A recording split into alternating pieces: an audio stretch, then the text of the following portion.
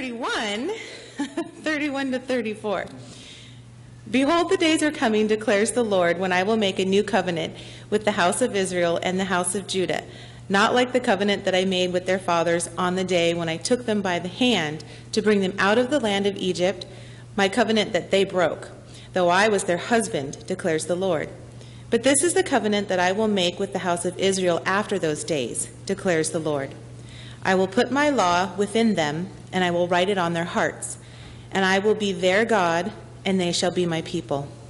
And no longer shall each one teach his neighbor and each his brother, saying, Know the Lord, for they shall all know me, from the least of them to the greatest, declares the Lord.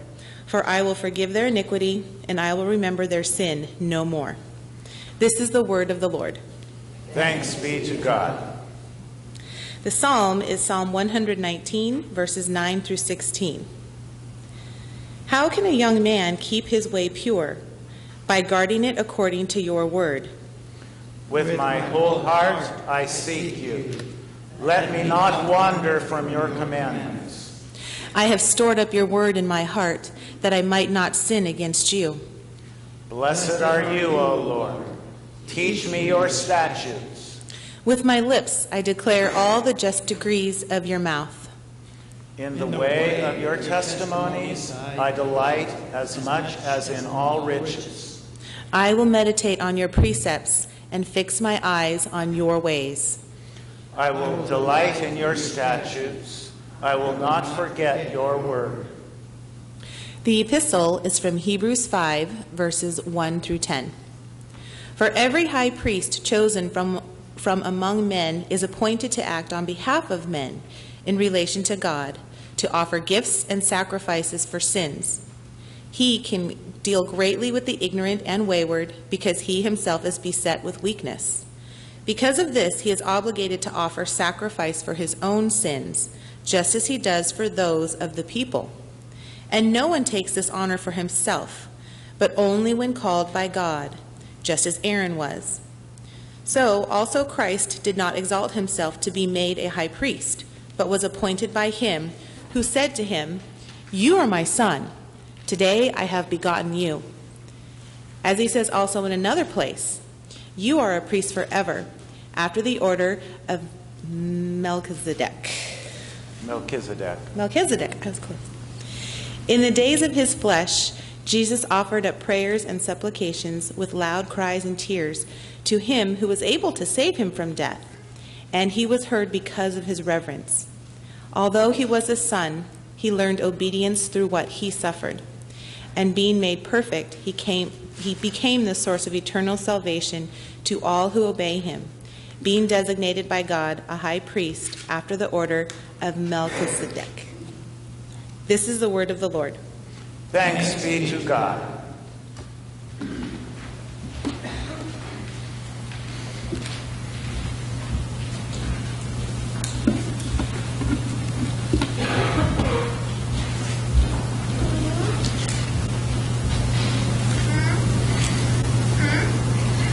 The, old, uh, the gospel lesson for this fifth Sunday in Lent is found in St. Mark, the 10th chapter. Glory be to thee, O Lord. And James and John, the sons of Zebedee, came up to Jesus and said to him, Teacher, we want you to do for us whatever we ask of you. And he said to them, What do you want me to do for you? And they said to him, Grant us to sit one at your right hand and one at your left in your glory. Jesus said to them, You do not know what you're asking. Are you able to drink the cup that I drink?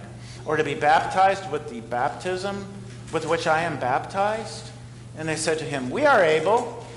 And Jesus said to them, The cup that I drink you will drink, and with the baptism with which I am baptized you will be baptized. But to sit at my right hand or my left is not mine to grant, but it is for those for whom it has been prepared.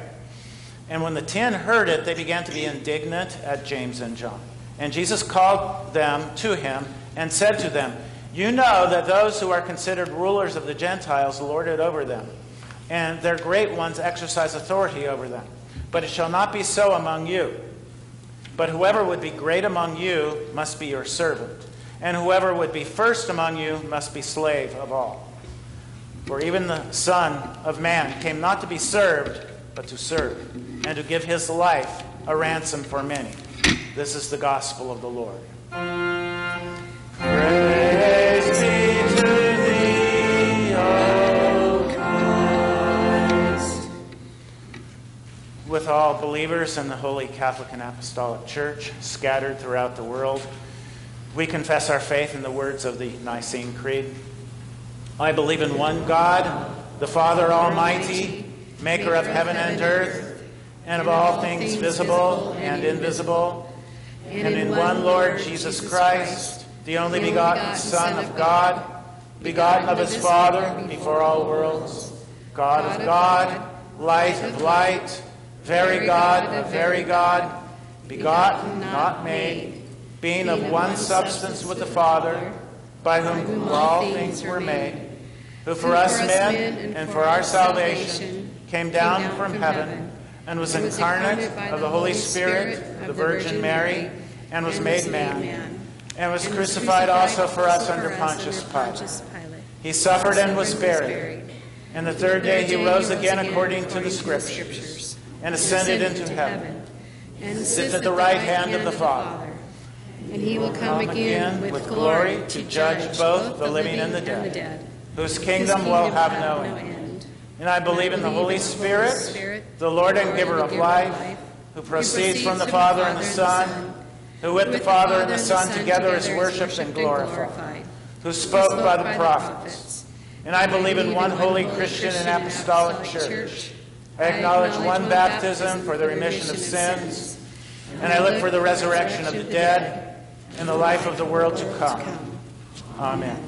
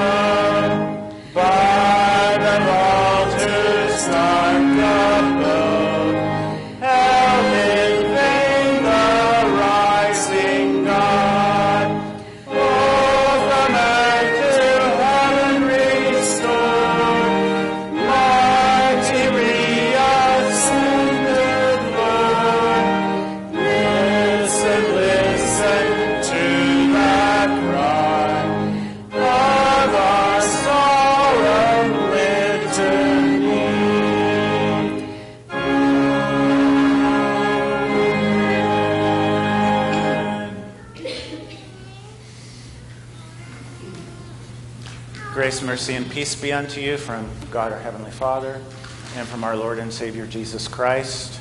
Amen. Let us pause for prayer. Good and gracious God, we are in a very holy and solemn time of year where we contemplate the holy mysteries of the cross and the sufferings of our blessed Savior. Draw us close to you during this time. Help us to contemplate and understand more deeply his sufferings, his death for our sakes. And as we do so, and as we are drawn closer to you, may we rise as Christ rose to live a new life for you, to be dedicated to you, to put things in order in our personal lives, to make you first, put the kingdom of God in its rightful place. And help us, Lord, to be the lights that you've called us to be in this very dark and dangerous world where people are falling away from you left and right. They need correction and they need your holy word more than ever before. So feed us today and strengthen us for the days ahead and for our callings under the cross. Amen.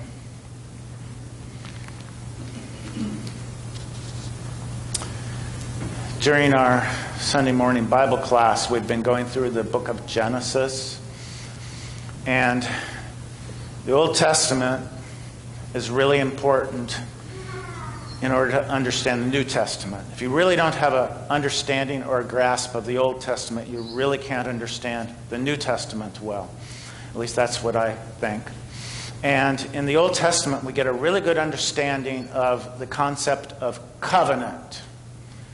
Covenant is not just a handshake and a grin between a customer and a used car dealer. It's much more than that. And in Genesis chapter 15, God gave Abraham a solemn promise. He told Abraham that you're going to be the father of a great nation, and this nation is going to bless all the other nations of the world. And Abraham just couldn't see it. Um, he'd been through so many things and he was so old. How could he have a son and how could this blessing ever happen? And so God wanted to show Abraham the seriousness of this covenant. And so he told Abraham, Go get a ram, a heifer, some goats, and some birds. You're going to sacrifice them. You're going to cut them apart into two pieces and you're going to make kind of an aisle, like we see here, between one part of the sacrifice and the other part of the sacrifice. And then Abraham went into a deep sleep, and God's presence went between the cut up pieces of sacrifice. And it's what we call a cutting sacrifice. And God was trying to show Abraham how very serious he really was in making this promise and covenant with him. And as we see in the ancient Middle East, as you read through history books, as we see in the Bible, men used to make cutting covenants with one another. You read, for instance, in the Bible where two nations came together and they wanted to make agreements about land usage. They'd make a cutting covenant. They'd cut animals and they'd walk through the midst of these cut up sacrificial animals. And the statement that they made was, We're serious about this. This isn't just a handshake and a wink. This is serious business. And whoever breaks this covenant, they're going to be just like those animals that have been slaughtered and cut in two. And God, later on in history, made a very important covenant with the nation of Israel after he had, he had kept his promise with Abraham, and the nation of Israel did emerge as a strong nation in the Middle East. God made a cutting covenant with this nation. And so we want to talk about that Old Covenant and then the New Covenant that God made. So we know how that all transpired, but just as a review, God rescued Israel after 400 years of bondage in Egypt. And the, the imagery is that he reached down his hand and took the hand of Israel and guided them out through the Red Sea into the wilderness. And after several months, they came to a mountain that we know as Sinai. And there at Sinai, God made his formal cutting covenant with the nation of Israel. There was smoke that came out of the mountain. There was the sound of a trumpet. God's voice was heard. There was lightning. There was thunder. And the people of Israel came to Moses and said, We don't want to hear God's voice anymore. It scares the daylights out of us and the, the nation of Israel was just melting in fear, and they were trembling in their boots as they stood at the base of Mount Sinai and saw all of this going on. All of God's seriousness and God's power and might. And so they said, You talk to God for us, and we'll listen to you. And so that's exactly what happened. And Moses went up on the mountain, and we know that he came down with the law of God. And this was the basis for God's old covenant, his old cutting covenant with the nation of Israel. And it had a threefold aspect to it the moral law, which is God's immutable will, which is in, in effect today. God will never set aside his moral law. You shall have no other gods. Do not take the name of the Lord your God in vain. Remember the Sabbath day to keep it holy. Honor your father and your mother. Do not kill. Do not commit adultery. That's a part of God's moral law, which unfortunately today our nation in mass is departing from. We see evidence in that. Just turn on your TV set. Look at a movie that's out there today. Listen to the language that most people speak today. In mass, our country is turning away from God's immutable will and his moral law, and it's a serious matter. Judgment, if we don't turn around, judgment is around the corner, I believe. But anyway, I, I, I digress. There was the, the, um, ceremonial law, and there were the civil laws. That was the basis for the covenant that Israel made, the cutting covenant with God. And so it was made at the base of Mount Sinai. Moses wrote it down, and we have it recorded in the Pentateuch, the first five books of the Old Testament. And Furthermore, after they came into the land of, of Canaan, they went into a valley, and on one side the laws were, were um, read, and on the other side, the nation of Israel that heard the law of God read. They said, Amen. And they bound themselves to this covenant. The problem was, that Israel found out real soon. It's not that easy to stay in covenant relationship with God. Because of our sinful nature, it's just all too easy to deviate from the moral law of God, and because of our fallen nature also, not to keep, especially in those days, all the many hundreds of rules and regulations that were involved in the civil and the ceremonial laws.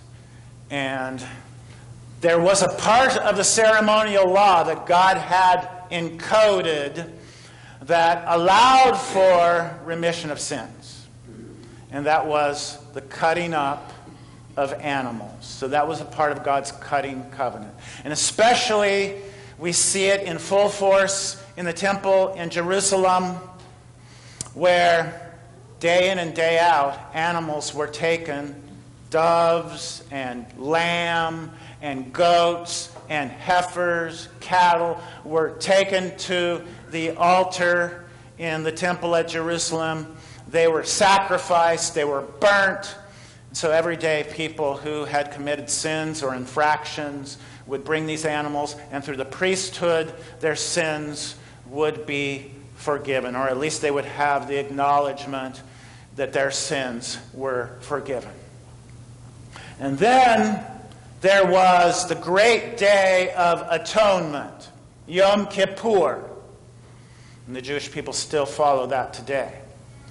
And on the Day of the Atonement, the high priest would be sanctified. He would go through many ritual washings.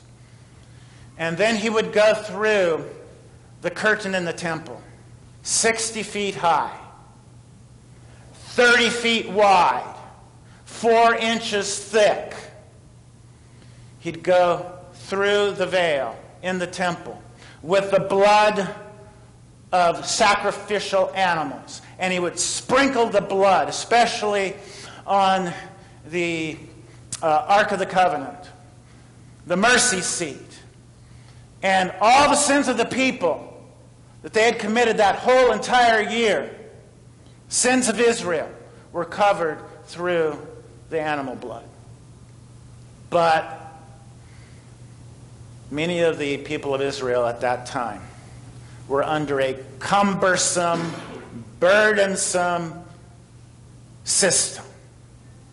And they didn't have direct access to God. They had to always go through a priest or an intermediary in order to know that they had forgiveness of sins. They couldn't come directly to God.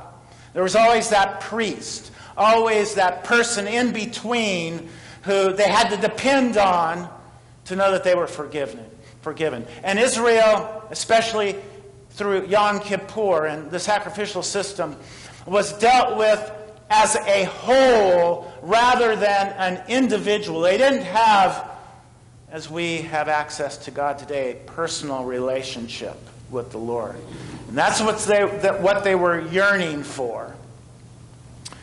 And in Jeremiah chapter 31, that was just read today, verse 33, God spoke some remarkable words to Jeremiah, and I'm sure he was scratching his head when he had these words revealed to him. God said, This is the covenant that I will make between me and Israel. I will put my law within them I will write it on their hearts. I will be their God, and they shall be my people.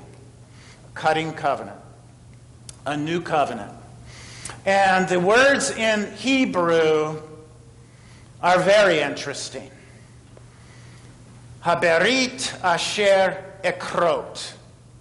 It's translated into English as the covenant which I will make but if you look at that word in the Hebrew, ekrot, it's a um, perfect um, first person singular for you grammarians out there. And it means, I will cut. I will cut a new covenant with my people. The cutting covenant. And we see the fulfillment of that cutting covenant when the Lamb of God, who was destined before the foundations of the world to be the Lamb of God, he went to Calvary's cross. And at Calvary's cross, he was cut. He was pierced. He was pierced in his hands and feet and pierced with a sword on his side. He became the epitome of the cutting covenant. And through that cutting or piercing, the new cutting covenant was established. And now, no more sacrifices, no more priests who come between us and God. No more ceremonial laws are necessary. No ornate rituals are necessary. No animal sacrifices necessary. Now, in this new covenant, we hear a very special message, very beautiful message that Christ Jesus, the Lamb of God, was sacrificed in our place. He went behind the veil with his own blood. And that own blood sacrifice that he made was accepted by God Almighty, by Yahweh, the God of the universe. And now, when we hear that gospel message, it creates faith in our hearts. And the faith that we have that's created by the Holy Spirit through the gospel accepts all of God's promises. And all of God's promises in us are yea and amen. And when we accept God's promises, we receive the Holy Spirit and we are enabled to do God's will. And we become God's priests. So we don't have priests that are necessary that we have to come to God through. We are the royal priesthood. That's what Martin Luther discovered 500 years ago, rediscovered in the Reformation. We are a priesthood of believers. God dwells in us. We are God's temple.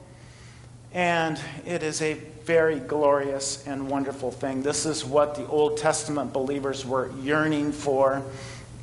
And it all happened on one of the most important days in history that we know as today, Good Friday, which is a little over a week, a little less than two weeks away. And so today our hearts are warmed when we hear the gospel. And we love to hear the gospel. And we're instructed in the gospel personally when we just open up our Bible and read it and meditate on it. And we are instructed in the gospel and the whole Word of God by called pastors and teachers of the Word. And as God's royal priesthood, we're equipped through Word and Sacrament. And so today we have the opportunity to go, in a sense, behind the veil into God's throne room and receive the very body that was cut and bruised and broken for our sins, and the very blood that was shed for us, that was the establishment of the new covenant, and we receive that into our own spirits and souls. It is the very body and blood of Jesus, the Lamb of God, and it strengthens us and refreshes us so that we may be that royal priesthood that God has given to us. And every Sunday, every day for that matter, we can come before God and we can confess our sins and know that those sins are forgiven through the blood of Jesus. And we can come here as a corporate body on Sunday mornings and confess our sins and receive holy absolution. As I speak the words of forgiveness, those are God's words, not my words. And so we have joy and delight today in this new covenant. We have this personal relationship with God. We have God actually dwelling within us because of what Christ did on Good Friday. But I just want to remind you that God takes that covenant very seriously. He took his covenant with the Old Testament people very seriously. And when they were breaking his covenant, he sent his prophets to, the, to Israel and warned them of the seriousness of breaching the covenant with him. God said that he was their spouse and that as Israel departed from the covenant, they were, they were committing spiritual adultery. And we know how serious God got with the nation of Israel when they breached the covenant with God for 70 years. They were expelled from the Holy Land, from Israel. Their temple was trampled down and destroyed, and they became slaves in Babylon. God wants us to take his new covenant seriously, not to despise preaching and his word, not to neglect the assembling of ourselves together, as is the manner of some, not to live reckless and immoral lives. Because the same thing that happened to Israel may happen to us as we depart and breach that holy covenant. May we keep it. May we honor it. May we respect it every day of our lives. And as we do, God dwells in us. We are his people. And we are empowered and we are equipped to go out and to preach the excellencies of our Lord, our covenant God, to those who are living in darkness. And we have the power through our word and through our witness and testimony to invite them in to the light. And may we do that, and may we um, invite many in so that they may be part of the same holy covenant that brings joy and delight into our hearts that we have. Amen. Peace of God that passes all understanding. Keep your hearts and your minds through faith in Christ Jesus.